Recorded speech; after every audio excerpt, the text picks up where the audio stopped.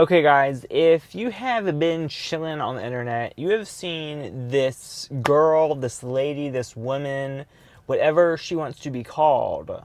She, for whatever reason, thought to take the card from her Tesla, dissolve the card away, take the inner guts, and then implant it into her arm.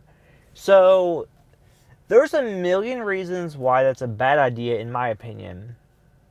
But we're not even going to talk about like just the idea of putting something inside your body. Like, that's not even my place to discuss. This idea is just kind of beyond stupid to me for a bunch of reasons.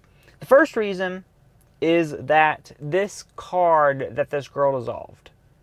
This is the backup method to get into your car. This is not the main method for getting into your car. You know the main method for getting into your car? It is the device that you carry with you all the time. And you know what? This is also the device that has all the features for your car. So, how you can remote start it, how you can set the air condition, how you can turn off the alarm system, how you can check the battery. Everything is right here. There's no reason that you wouldn't use this all the time. Not to mention, when you use your phone, you don't even have to think about it. Your car unlocks and locks when you walk up to it and go away.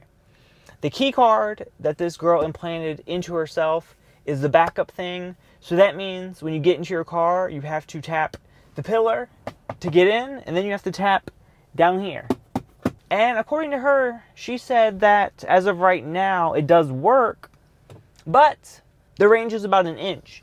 So look at this. So to start your car, your Tesla, you have to put your card right there. I don't know. It just seems like very, very like hard. So if my implant is like right there, which I don't remember where she put it, but it's in her forearm. So I would have to like, like it would be hard to do it. Maybe you could do your arm this way to turn the car on, but then if you have a person in your passenger seat you're like getting all up in their space. If you want to do it this way, like to get it right perfectly, your arm doesn't even bend that way. I don't know. It may just be me, but again, I think it's a stupid idea. I get why she did it because this is probably just what she's into.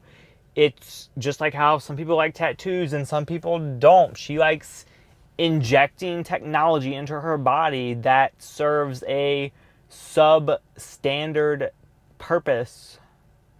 Was that even like a correct phrase or word? I don't know.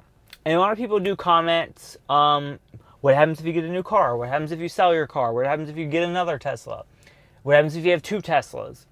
That's not an issue at all. Like that's the big thing with Tesla. You can reprogram your card to work with other cars, new cars. You can have multiple cards for multiple cars. Not a big deal. But just overall, I think the idea just isn't there. Until we are done being dependent on our phones, this idea just doesn't make sense to me. Basically, when you go out in public, if you go driving, you're required to keep your driver's license on you. So why not just keep this Tesla card in the same spot as your driver's license?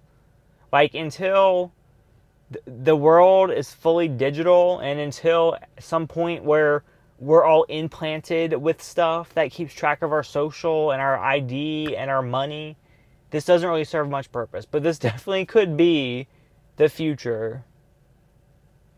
But the future is not right now.